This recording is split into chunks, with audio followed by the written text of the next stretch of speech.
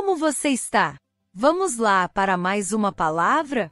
Bem-vindos aos 52 palavras em hebraico para abençoar seu ano.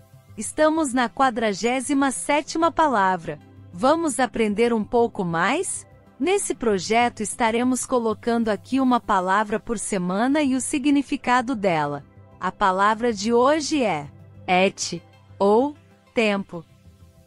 A palavra hebraica et, traduzida como tempo em muitas passagens da Bíblia Sagrada, é uma daquelas palavras que carregam um multissignificado. Seu entendimento vai além de uma mera medição cronológica. Ela nos leva a contemplar os momentos orquestrados por Deus e as estações e momentos da nossa vida. O hebraico antigo tem essa palavra tempo, et, mas o tempo bíblico não é tempo newtoniano.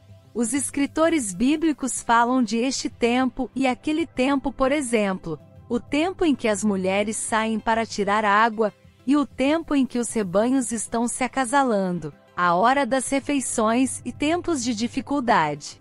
Como nos escritos de Salomão em Eclesiastes, há um tempo para a guerra e um tempo para a paz, um tempo para reunir e um tempo para dispersar, um tempo para falar e um tempo para o silêncio. Ele não está meditando no tempo, mas sim no momento. Então Et nos convida a medir estações da nossa vida. No pensamento hebraico, Et se estende além do conceito linear de tempo, cronos, para incluir o aspecto qualitativo e oportuno do tempo, kairos. É o tempo divinamente designado para uma ação específica, a temporada providencial para a manifestação do propósito de Deus. Em muitos casos, et é usado em conexão com momentos decisivos na história da salvação. O nascimento de Jesus, por exemplo, é descrito como ocorrendo no tempo adequado na plenitude dos tempos Gálatas 4 e 4. Isso ressalta a ideia de que Deus escolhe os momentos certos para realizar seus desígnios. Et também nos ensina sobre a responsabilidade que temos em relação ao tempo. Salmo 92 diz: Ensina-nos a contar os nossos dias, para que alcancemos corações sábios. Isso destaca a importância de sermos sábios administradores do tempo que nos é dado. O tempo é a coisa mais preciosa que temos na vida enquanto estivermos aqui nesta terra. Em Eclesiastes 3 e 11, lemos que Deus pôs a eternidade no coração dos homens.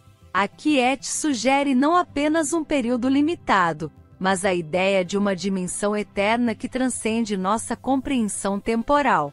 Fala do tempo que Deus preparou para estarmos com Ele, que nunca mais terá fim. Na verdade, a ideia de eternidade é sem começo e sem fim. Em resumo, a palavra et é um convite para contemplarmos o tempo não apenas como uma sucessão de eventos, mas como um dom de Deus carregado de propósito. Ela nos lembra de que nossas vidas estão entrelaçadas com os planos de Deus, que Ele opera em e no tempo perfeito, e que nossa busca de sabedoria inclui discernir e abraçar os momentos oportunos em que Ele se revela que possamos, ao meditar sobre Et, não apenas contar os dias, mas reconhecer os dias contados por Deus em nossa jornada, os momentos que Ele preparou para cada um de nós e tirar o melhor proveito de cada momento da nossa vida, respondendo com gratidão e sabedoria à medida que vivemos em Sua eternidade. Obrigado por estar com a gente. Concluímos mais uma semana do ano, já é a 47ª palavra. Nos conte se está sendo legal para você. Deixe um comentário ou pedido de oração. Siga-nos nas redes sociais, deixe um like se você gostou, se acrescentou algo à sua vida. Fique atento aos nossos conteúdos. Até a próxima!